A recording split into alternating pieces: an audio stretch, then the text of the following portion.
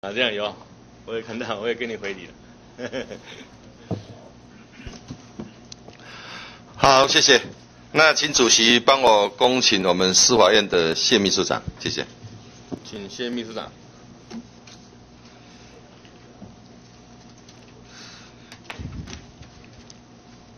陈委员好。哎，秘书长好，秘书长非常辛苦啊。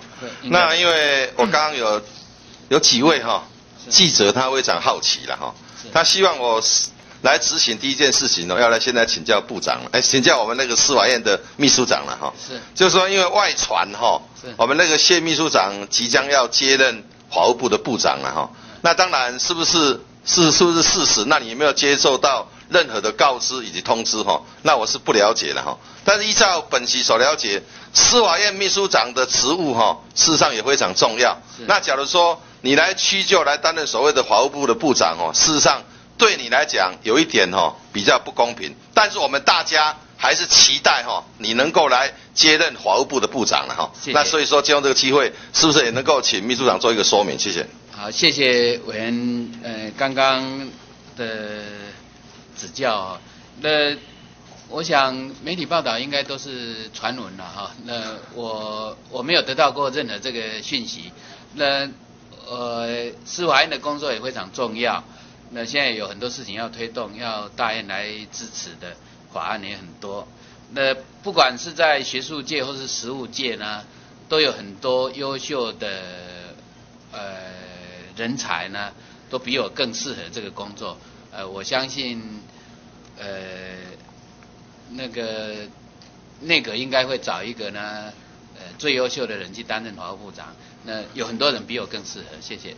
那秘书长是，因为依照本期所了解，你不管是你的法学素养或者你的操守学识能力哈，都是一等一的了哈。那当然，社会各界对你的评价非常高。那尤其本席也了解，在过去所谓的司法官的评鉴里面哈。那你本身哦，就好像是排级第二位了哈。那尤其也能够得到很多检察官对你非常的肯定哦。那当然，假如说有机会去接任所谓的法务部的部长的话，那你个人会不会排斥？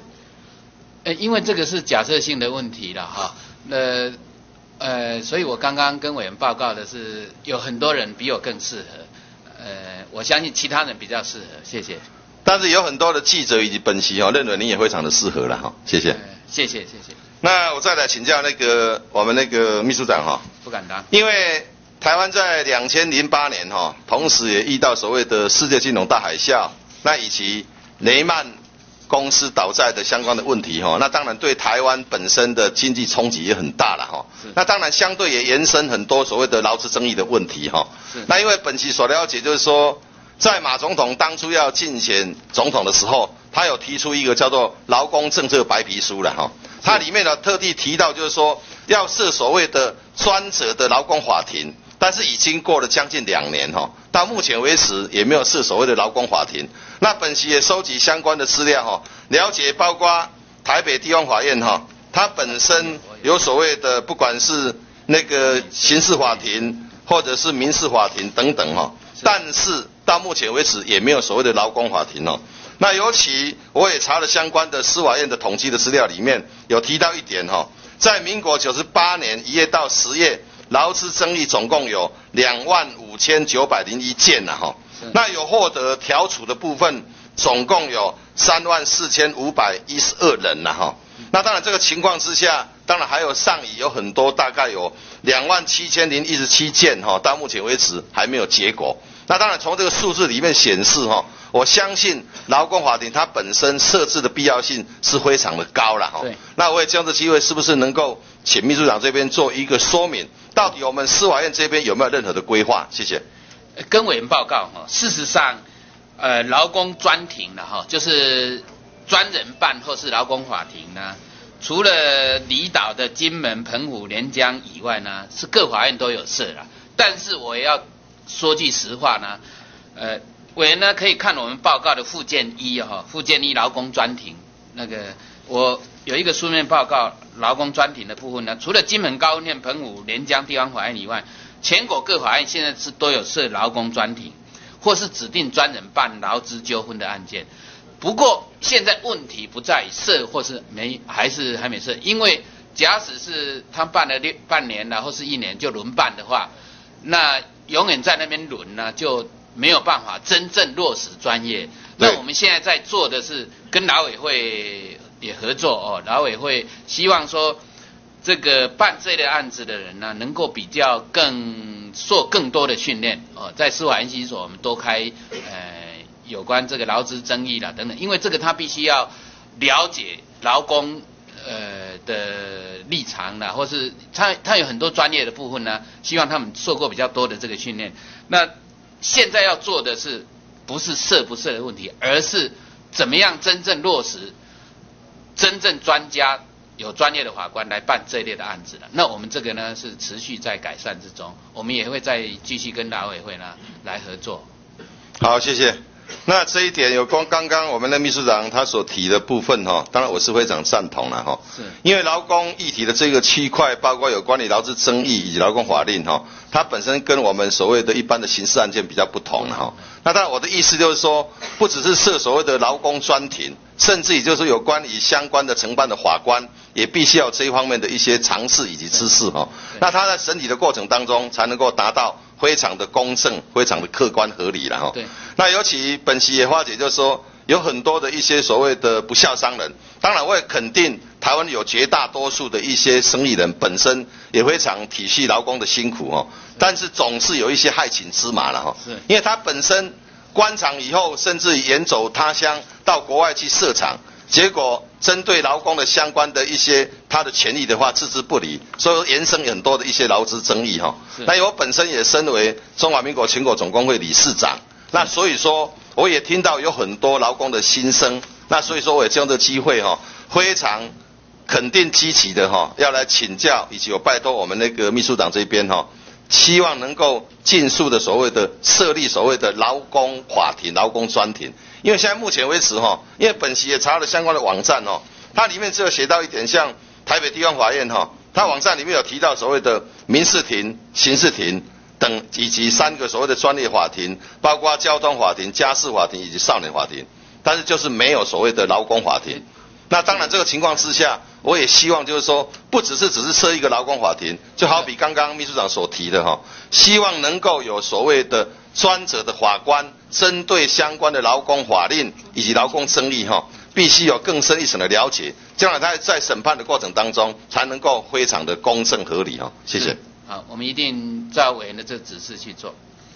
好，谢谢。那我再请教一下哈，那个秘书长。不敢当。因为我前阵子哈有看到一份报纸哈。是。这个是中国时报了哈。是。它里面有提到一点哦，这个标题写的很大，非常耸动哦。是。他说。事务官竟不甩法官了哈，是。那当然，我看到这个报纸以后，我个人也觉得非常的压抑哈。因为既然就是说事务官他能够不甩法官，那本席是感到非常的疑惑以及不解哈。因为就好比就是说，事务官他本身有没有审判权？诶，没有。司法事务官设置呢，他做的是。非审判核心事项，那现在就是办理一些非送事件跟强制执行事件。那有关审判核心事项，司法事务官是不能办理的哦。是那司法事务官自己可以单独处理的呢，就是非审判核心事项的非送事件跟强制执行事件。那当然，本席看到这个报纸以后哦，针对内容里面有提到一点哦，嗯，就是有关于那个。司法事务官的部分哈，他针对所谓的法官本身的裁定哦，他既然不甩了哈，就好比就是说，计测所谓的德意构家族这个案件，应该我们秘书长非常清楚了哈。那当然我认为就是说，法官他本身有所谓的审判权，那当然他本身法法法所谓的司法事务官哈，他不能够依照他个人的法律见解去抵触大法官的审判嘛，不是吗？他这个案子倒不是他不甩法官，根据我了解呢，因为报纸登了以后呢，我们有做初步的了解了哈。大概司法事务官就应该是甲是假处分，假处分，假处分的那个甲处分处理甲处分的时候，他没有采没有采呢高院的一个法律座谈会的多数见解，因为有假说乙说了哈，他采乙说呃。不是采假，不是采假说。那不过现在呢，因为这个制度，我们也怕说司法事务官呢，呃，他毕竟没有法官那么样的呃优秀跟跟法学素养那么好，所以非审判核心事项的由司法事务官做的这个处分，当事人不服的话，可以声明异议，声明异议呢，就会由法官呢来重新来审来审核，来再来处理，呃，有这个救济的这个机制了，所以。说起来不是他不甩法官，而是说这个司法事务官做的这个假处分的决定呢，啊没有采多数的见解了。哦，那这个当然有时候在法官也会发生了哈，因为法法律见解本来学法律的人都知道有假说乙说，有有很多说，那他采少数说，那造成呢当事人的不满。那当事人假使不服，他倒是可以向法院呢声明异议。那声明异议以后是会由法官呢来做处理的。对呀，那法官本身有审理权，司法事务官有审理权吗？呃，司法事务官对于非审判核心事项呢，他可以处理，他可以处理。比如说假处分这个啦，或者是一些灰送的事件呢，因为灰送事件很多嘛，哦，那法官人力很少，人力不足很少，所以建构司法事务官这个机制呢，来处理不是。审判核心事项的事务呢，呃，让法官可以请权权力呢来办好审判核心事务的工作、审理工作。应该照理说，一般的所谓的司法性司法事务官，他本身是来协助法官来处理一般的行政程序嘛。他有一些不纯是协助，他有一些是用自己名义处理的啦。用呃用比较通俗的话的情况，卡不重要，比较不重要的哈，不是说哦。比如说，要民事判决判谁输谁赢，或是刑事判决上判被告有罪无罪，这个当然司法事务官是绝对无权的了，他不可能去做这个事。但是有一些呢，是纯属呢，呃，挥送事件呢，不是那么重要的，比如呃，花那个只花什么命令？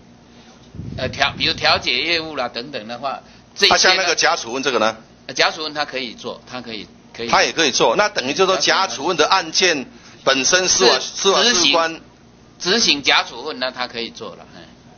那等于就是说，有关于不管是执行那个假处分或假处分的案件呢，哈，那等于就是司法司司法事务官他有权利可以选择跟法官的裁定不不相同。他倒不是法官的裁定，其实这个法官这一件事，法官并没有做出任何决定，没有做出任何决定，还没到法官。那他初步是司法事务官，他可以做处理。那处理的，假使说他处理这个不对，当事人不服的话，可以向法院来声明异议，声明异议之后，就会由法官来再做处理。但这样的话，可能有当事人会受到很大的一个损失的哈，所以我借用这个机会，只简简单简单点了一下。我们会那也希望我们那个秘书长这一边能够去详查了。好，我们会检讨。谢谢，谢谢。